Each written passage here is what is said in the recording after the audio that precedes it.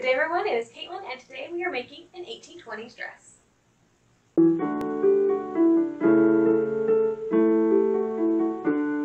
Alright, welcome. We are going to be working on this 1820s dress today. Um, this is the fabric I have. There's an original with a very similar fabric. Um, theirs is a slightly larger print. Oops, sorry the dog. And the cats are fighting, lovely. It's going to be a great video. Um, so the red part was about half an inch and the white part was about an inch, I think, in the original. So about overall twice as big as what this is. But stylistically, it's the exact same print. So I was like, okay, I'll do that. Um, so let's go ahead and start out cutting this. So let's go ahead and start out by cutting the skirt. I'm going to do three panels, and I think it's 44 inch wide fabric. I'm going to cut off the selvage this time just because it's, you know, kind of obtrusive. So I think it'll end up being what, 42 inches? It'll be in the 126 inch uh, skirt circumference range, which is decent for the 20s. Make it all nice and even. Oops. Apparently that was the, the long end. Let's go ahead and this other end. Cool. Alright. I'm going to cut my panels 45 inches long. Just because from experience, from experience, I know that's not what I need my skirt. How long I need my skirt? Would you want to play with fabric? Okay, cool. You can scraps.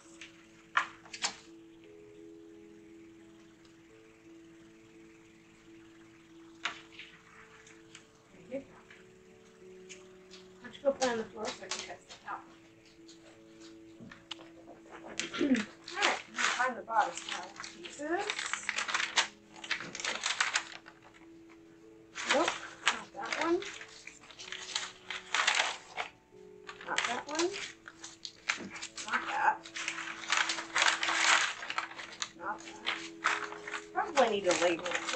Well, there are labels. I probably need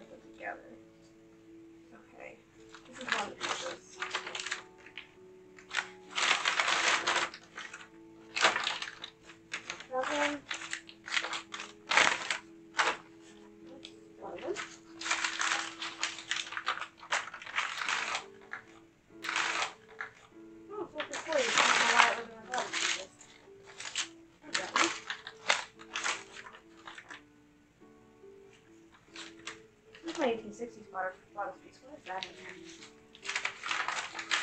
Clearly, I need to organize my. And here's a sleeve we're going to use. This is a sleeve that um, I used for the 1820s wool dress, the green wool. Um, I'm going to kind of make it a little bit bigger out here. Maybe here as well. I don't want it quite as fitted as the wool one. Sorry, y'all couldn't see that. Here, I'm going to widen it here. Uh, just to, just to, um, just so not so fitted. I would also really, really like to make ruffles on the skirt, maybe about five inches long, maybe a little longer, maybe seven inches. Um, ruffle all the way around the skirt. So we'll see how much fabric I have at the end. Top is going to be on the selvage. Going to cut off several inches from the bottom just because this is 20 we have a shorter waist. I do want about inch and a quarter waistband, so that's going to be taken up. I think I wanted about three quarters of an inch shorter, so I'm going to cut this off two inches.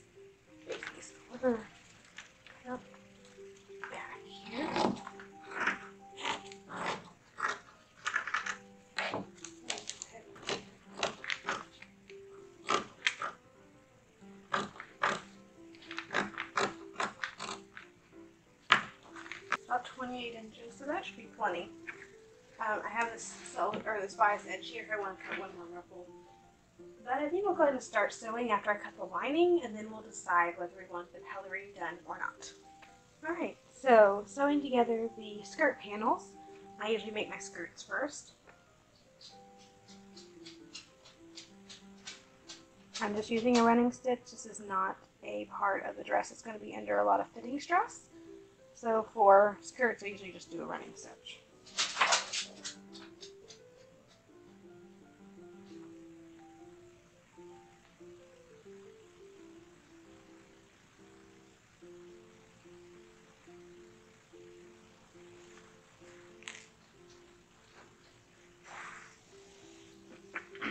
Alright, next up is the facing. So the little part on the bottom of the skirt that's going to um, here's the wrong end, no there it is. Uh, that's going to help me hem it, basically. Here we go. Hem the needle, where to go? Found it.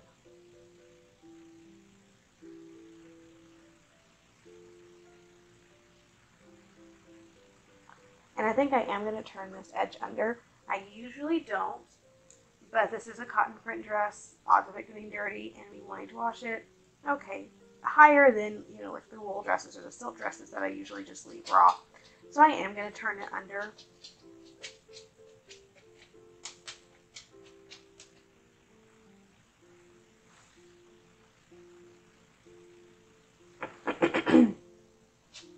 You see both techniques on at least mid-century dresses. I'm having a hard time finding dresses this early to see the inside. So um, 1830s dresses I know I've seen be left raw. I, off the top of my head, can't think of anything turned under. But for a cotton dress, I think it'll work just fine. Alrighty, so I have been working on the skirt ruffle because the skirt is done. I gauged it, finished the basting and all that. So I've been working on the ruffle. And I am not going to hem it. I'm going to slit it about an inch from the hem. That way it doesn't get, um, it doesn't get worn. I'm going to leave it raw. It's on the bias, so it really won't ravel. I don't plan on washing this down very often, so we're just not going to hem it. And if, if it gets to the point where I am washing it a ton, it's very simple to go back and just hem it very quickly. So I have here some yarn, some sugar and cream cotton yarn and I've been putting it in the top to kind of create a casing for it. And this is what I'm going to pull to create the gathers. And it kind of looks like piping from the top edge. So, I'm going to mark, this is going to be one section.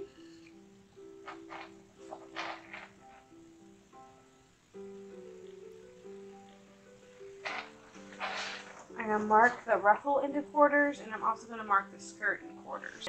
And once I get all that marked, I can match the mark to the quarters on the skirt to the quarters on the ruffle and then pull on the yarn to gather it to fit. Alright, sewing the bodice together um, with back stitch. This is the shoulder seam.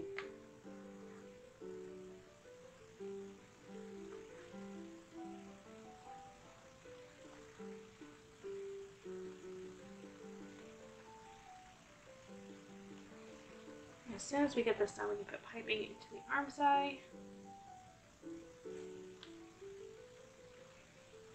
Because I have other seams sewn. Alright, arm side piping.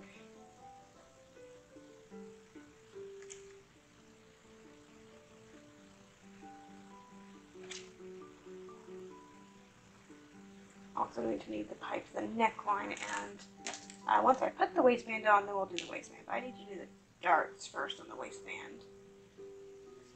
And now that I'm thinking about it, I may have to gather the back a little bit. have to gather the back a little bit. Because I do remember at, at one point this pattern, I don't know why I don't remember it when I'm cutting, but I remember after that, that the back is too big. And I don't remember if I fixed it on the pattern piece or not. Which means if I didn't, I'll just have to, you know, gather the back. I don't think the print's, the print's a little too even for me to uh, dart it, which is what I did the last time. I had the really crazy print and actually it in. You can't tell that, you know, anything happened to it. But with this print, probably going to have to gather it. piping is of course done on with like basically a gathering thread, uh, or not a gathering thread, a basting thread. Very loose thread uh, stitch. Very loose stitch that just um, basically just tacks it on. Just tacks it on. And then I'll use the seam on the back side for when I sew on the sleeves. And the sleeves have been sewn together. I did not line them. I did find an original that wasn't lined, at least one original that wasn't lined, so I, I uh, didn't line it.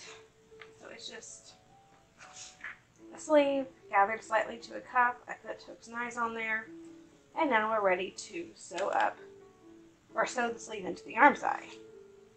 As soon as I figure out, there it is, where the thread is.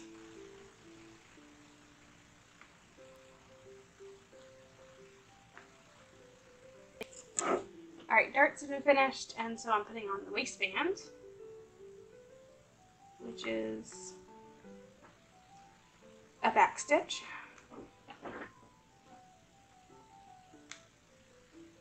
Best I can. Going through a lot of layers right now. Oh, I just made pizza, so he's smelling the cheese on my hands. It's kind of hard to see what I'm doing when your face is in my view. Sorry, I didn't feed you cheese. You don't need cheese.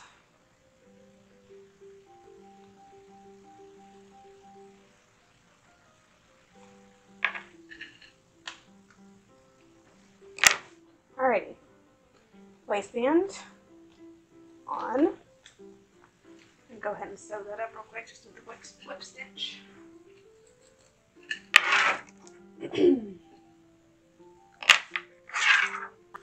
I'm just trying to get this to the lining, not the fashion fabric. Because that will hold it together, and also, I'm not using a thread that necessarily matches my fabric. I've lost my red thread. I can't find it. I guess I could have used white, but gray was what I grabbed. And there really, you can't tell anywhere on it that I didn't use matching thread which is why I only generally use four to five colors of thread. Alright, now we have that nicely done. Sew on some piping to the very bottom edge of the waistband. That's what our waistband is looking like, so it's um, the horizontal stripes. Which is what we see in the original, and also just because it looks really cool.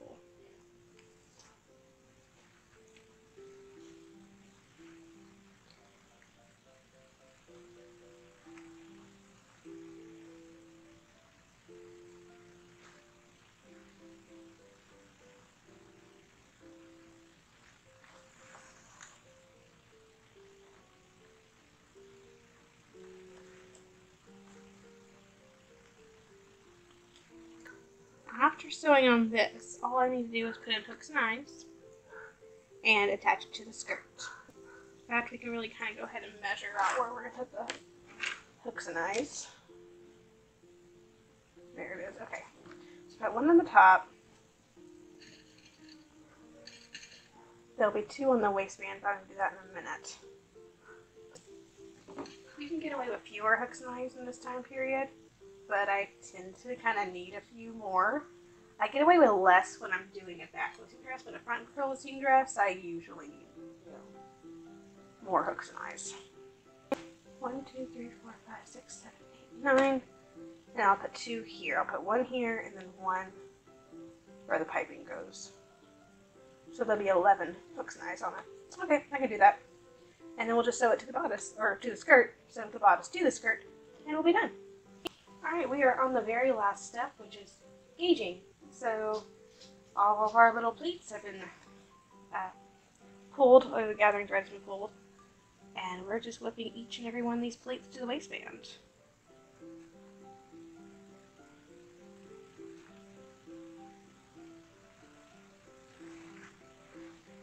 Doing four and then doing a stitch in the same pleat to kind of give it a little extra security. And that's kind of my pattern. Four stitches, pull, same stitch or stitch in the same pleat, they kind of pleat, they kind of secure it.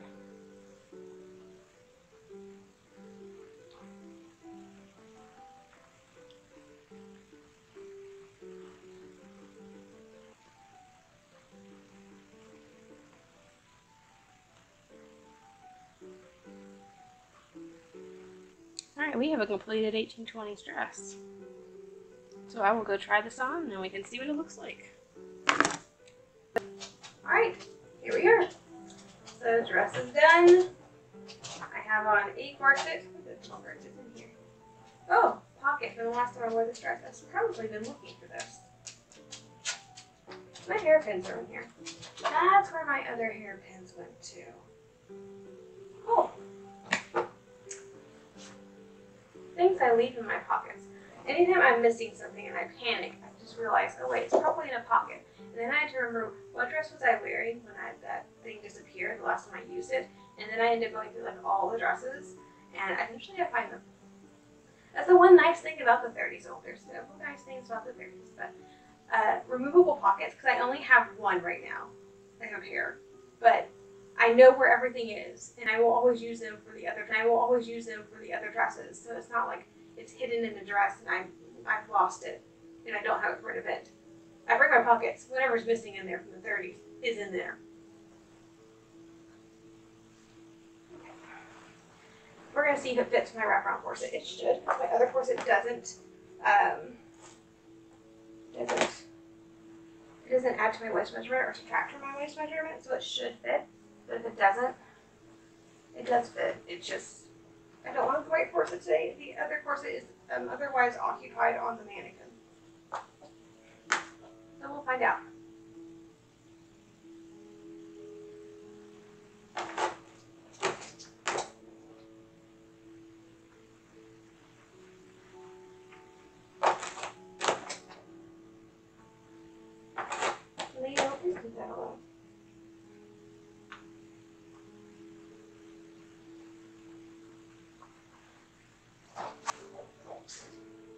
Cat just in my pocket. Like he found the strings and he took them and just ran off with it. Kind of wish I got that on camera. Oh yeah, okay. Look at that. Adjust things in here. These. There we go. And do these.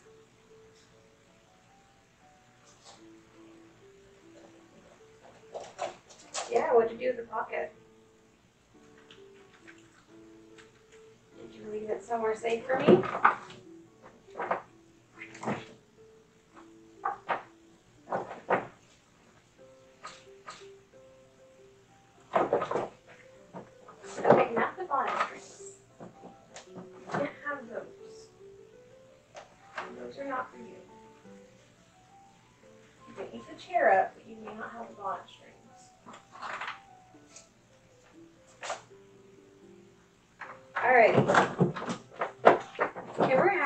Him. He's crazy today.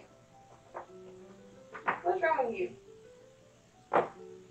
Yeah, I all cute now that I called you out on it. Uh-huh, I saw that. But here's the 1820s dress. I love it. I love the 20s. Like, really, I really, really, really love the 20s. I don't know what it is, but I really, really like the 20s. I like the slightly higher waist. And I like the skirt shape. I love that it's not too full, but there's still a decent amount of fullness down there. I love the little puff sleeves. Like they're not giant poop, but they're still poop there. I think it's cute. I still have to have the hair curls and the crazy hair, but that's okay. I love that the bodices are still in the bias. I know we do this in the 30s too, but I like with stripes, it just looks so so good when you do it. I love the fact that we do uh, skirt trim in the 20s, and it makes things kind of stand out a little bit. I just really, really like the 20s, okay? Which is weird because they're so close to the 30s, but they're not as ostentatious as the 30s. It's crazy, but subtly crazy. And I, uh, and I also think the 20s really just don't get a lot of love. I mean, the 30s gets love because, I mean, the 30s get love because the 30s are so crazy that everyone's just like, yeah, we need to do a 30s dress. But the 20s are just, they're the time between the Jane Austen period people and the crazy 30 people. They don't get love. Poor 20s. I mean, even the early 20s, which I would say is a lot more Regency in style, just a slightly longer waist. But when that change hits in 25, where, you know, the um, arm size drop and the waistline kind of drops. All those changes that get made like 25 up until about 28. I really like that time frame. 25 to 28 is apparently my time frame that I really, really like. And we need more events and more things to do in this time frame. That's just my opinion. But um, let's go back and talk about the dress, shall we? So I worn it once. Once. I did one 1820s event. And I've it a lot more. We have more 1820s events. But um, I have two 1820s events, or 1820s dresses now. So I wore this one day, I wore the other one the other day. Because it was cold and it was February. And that's, I needed the wool dress that day. But it was warmer the next day, so I broke out this dress, and I'm very glad I did because I absolutely love this dress. This is my favorite 20s dress, I think. Um, the only thing is I really probably should figure out a way how to keep these sleeves up. I probably should be wearing some slight sleeve pops, just like really small ones, but I haven't done that yet, and I think they kind of do poop out decently on their own. I just think it, it probably should be a little bit more. Just just a little bit. Not not much, but just a couple of inches. And I think I think that would be ideal. But yeah, I love the 20s. I just think they're so precious. It's 1830s crazy without being 1830s crazy. 1830s but elegant. More elegant. As elegant as you can be with curls, hair on top of your head, and giant poopy sleeves. Well, these aren't really giant, but um, for what they are, for the time frame, this is more elegant than the 30s. But that is basically the dress. I mean, the pocket slits that I put in are probably a little bit lower than I would generally that I put in are probably a little bit lower than I would generally prefer, but they still work. And of course, with the tie-on pockets, I just tie the bow lower and the pocket goes lower, so it's really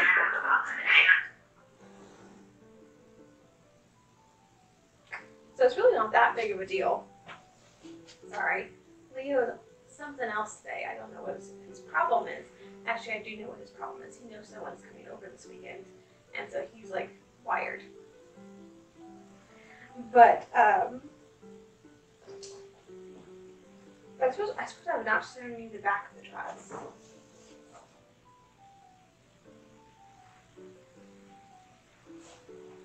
But I mean, it's a 20s dress. It is my favorite 20s dress. Um, I think I would have preferred it if the print was just a little bit larger, but um, overall, that you do see these types of prints in the 20s, albeit a little bit larger, but you do see them, so I'm very happy with how it turned out. Um, don't usually go for this color scheme with the red, with the bright, bright red. I usually go for my, I go for darker jewel tones, not the bright stuff. But I actually kind of like it. I think there's enough tan in here. This is it out with the red. This whole video is just going to be Leo just acting insane.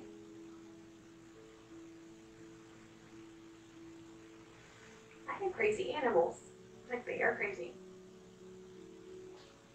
I mean, I do literally refer to him as the psycho cat, so I guess he's kind of living up to his name today. But, um, I forgot what we were talking about. We were talking about, we talked about how much I love the 20s, which I really, really do. We talked about how they're basically like the 1820s, 1830s, but they're better. And, uh, talk about the color. So, I do like it. So overall, I'm just very happy with the dress. I mean, I'm hoping I can get a lot more use out of it. I could probably wear this up into maybe 30, 31. I don't think I can push it much longer than that. I can wear this starting probably late 25 to 26, 25 to 26. Um, and really 30 is probably pushing it. Of course, now it just looks so brand new, I probably couldn't push to 30. The styles do kind of change. Okay, oh, what did we talk about? Yeah, crazy cat. You know, you're making filming very difficult. I don't think you care. Yeah. Okay. Well, he's going nuts, so I should probably stop filming. But anyway, thank you so much for joining me as we made our lovely 1820s cotton print dress. If you enjoyed the video, please like and subscribe to the channel. As always, have a fantastic week, and I will see you back here on Monday.